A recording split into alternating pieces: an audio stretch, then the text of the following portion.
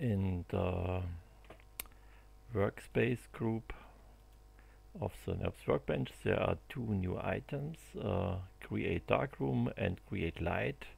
Uh, create darkroom means uh, a new viewpoint is created uh, in a dark room without light and lights uh, can be used to bring some lights onto the objects.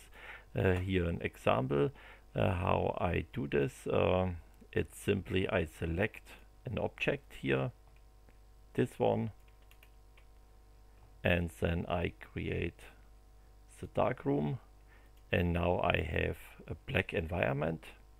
And I have here uh, my object uh, which is colorized by some lights. And the lights for the dark room are here. This first one is a directional light. Uh, here's the color and I can shut it off. Here we have the next with this light. Um, I can also change the color.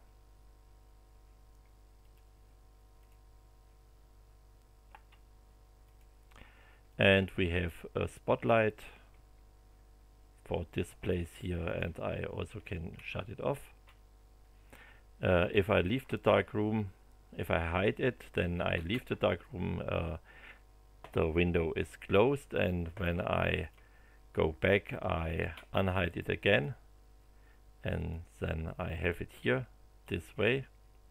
Now at this moment only this light is on so I can restart this view, uh, this um, spotlight.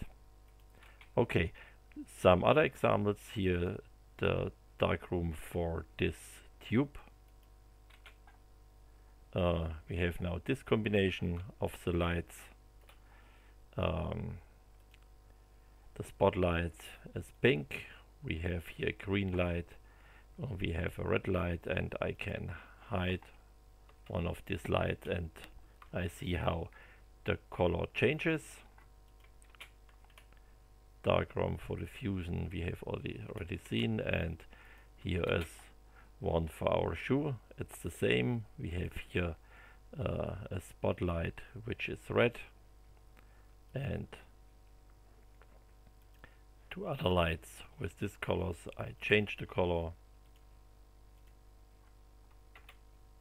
so I get this combination and if I hide it then only the spotlight here of the shoe remains